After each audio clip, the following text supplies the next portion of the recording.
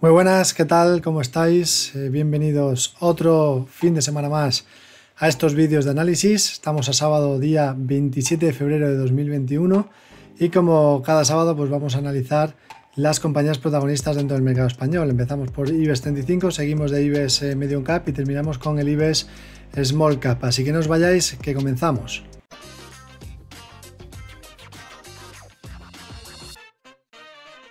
Bien, pues vamos a comenzar ya a analizar el mercado español. Antes de nada, me gustaría primero hacer un repaso a cómo está el mercado de bonos, sobre todo el bono americano de 10 años. Aquí tenemos la cotización del Tino decimalizado a 10 años con vencimiento junio de 2021, eh, que en este caso se puede operar a través de CFDs, a través de la plataforma de, de IG con el ticker XL.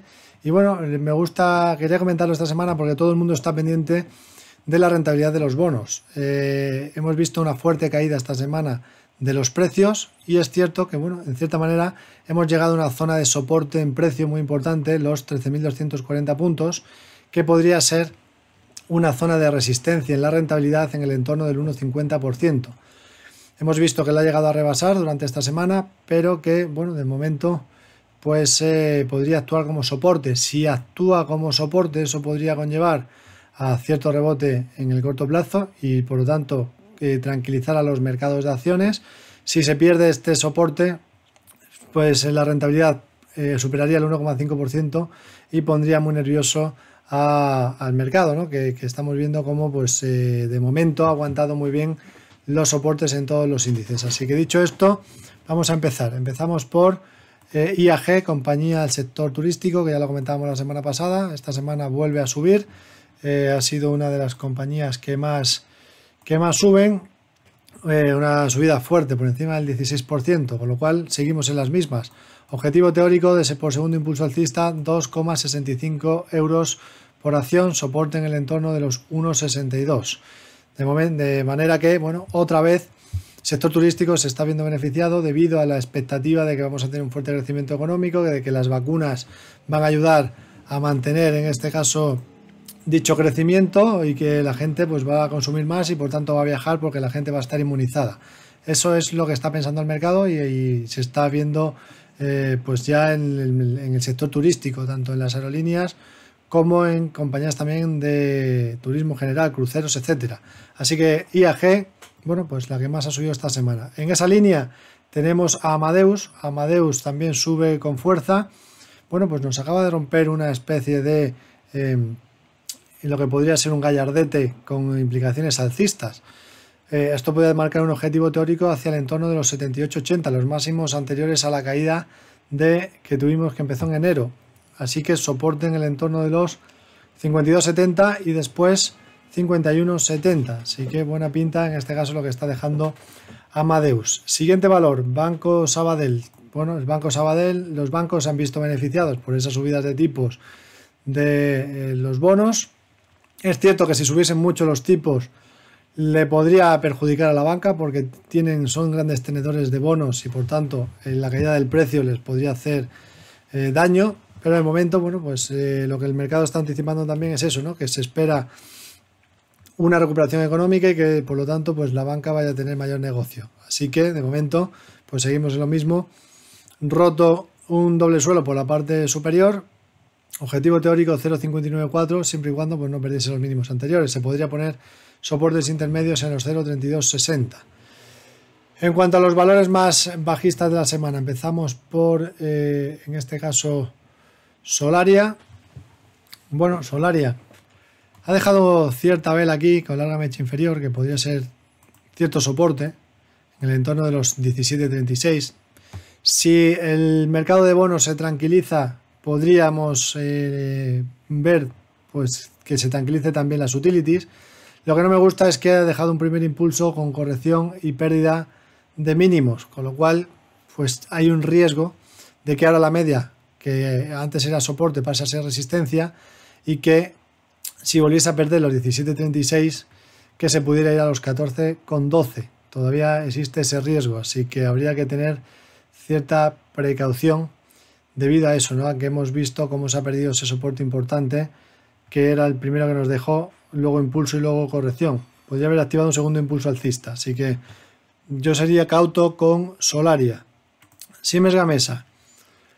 Otro de los valores que más caen esta semana. Aquí, bueno, de momento está dentro de un canal bajista de corto plazo. La media es el primer soporte y luego tendría soporte en los 27.85. De momento, bueno, pues simplemente es una corrección dentro de una tendencia alcista. Si perdiese este soporte, los 27.85, luego el soporte más importante estaría a los 21.55. Ahí habría bastante recorrido adicional de caída potencial. Pero de momento, igual, atentos a los, eh, a los bonos, porque la rentabilidad de los bonos va a ser clave en todo lo que tenga que ver con utilities, energías, etcétera. Vamos a ver a la siguiente, que sería Acciona.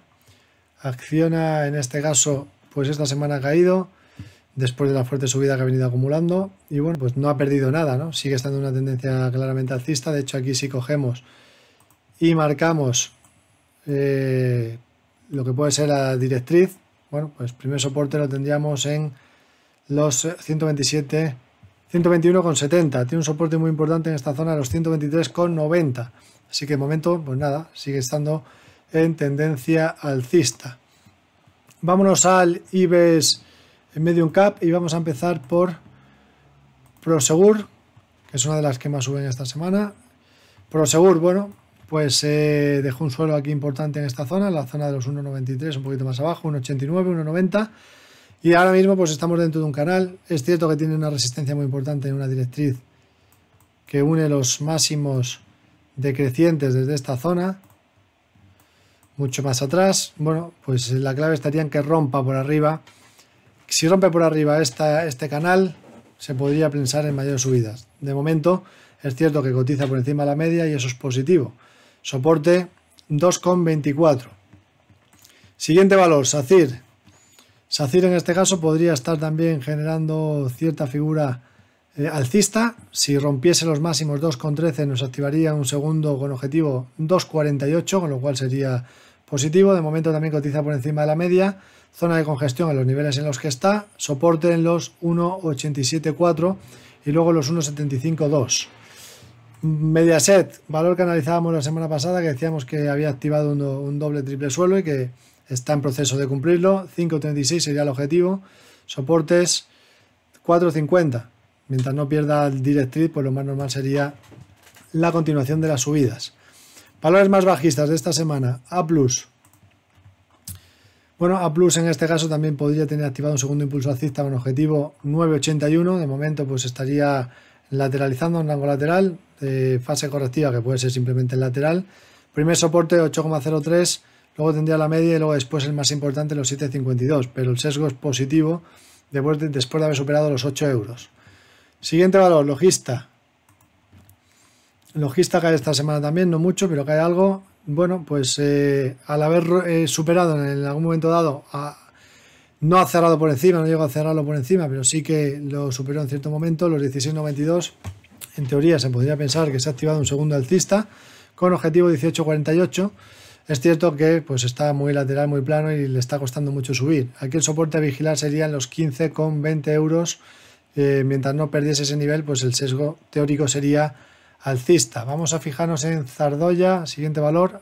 Aquí ya tenemos eh, valor bajista, por debajo de la media a largo plazo, con eh, cotización dentro de un canal bajista.